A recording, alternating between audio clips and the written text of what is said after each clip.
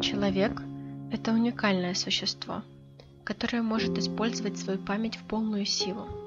То есть мы можем хранить воспоминания, события из которых произошли десятки лет назад, и это одна из тех вещей, которая отличает нас от других живых существ на планете. Но иногда случается так, что вещи или события, которые произошли с нами буквально день назад или даже час назад, бесследно исчезают из нашей головы, и мы больше не можем их вспомнить. У меня ранняя стадия болезни Альцгеймера, и вся моя жизнь постепенно превращается в ад. Но я все еще жива, я знаю, что жива. И рядом со мной те, которых я горячо люблю, и я еще кое-что хочу от этой жизни. Я ругаю себя за то, что многое забываю, но дни мои не лишены радостных и счастливых моментов. И, пожалуйста, не думайте, что я страдаю. Я не страдаю. Я борюсь. Борюсь, чтобы не выпасть из жизни, чтобы не утратить связь с той, кем я была прежде.